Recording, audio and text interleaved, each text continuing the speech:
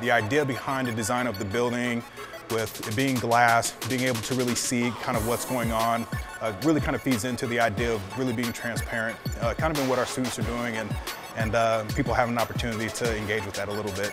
And so if we kind of take a look here on the floor, we will see the names of our academic All-Americans. Justin Herbert was our most recent academic All-American inscribed in the floor. One of the great features of this area is the ability to project information onto the flat screen TV uh, with a laptop computer.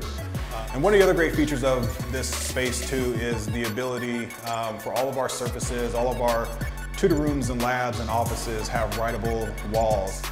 We have different labs that serve different purposes and so right behind us we have our writing lab which uh, is where our writing learning assistant uh, resides and has appointments and drop-ins so students can come in and get writing help on papers for writing classes or any kind of writing assignment that they may want you know, extra eyes on or need some assistance with. This is where students can come for that academic help. This is where our student athletes come for all of their technological needs as it pertains to their laptop computers.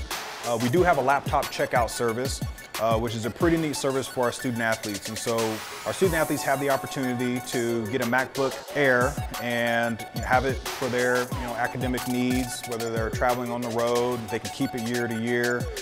So in this stairway, we've uh, taken the opportunity to recognize uh, former student athletes who have graduated uh, from, the, from the university. And the list recycles itself, but these are all the names of former student athletes who have graduated since 1954 through 2010. So I want to thank you for joining us today um, on the tour of the Jaqua Academic Center for Student Athletes.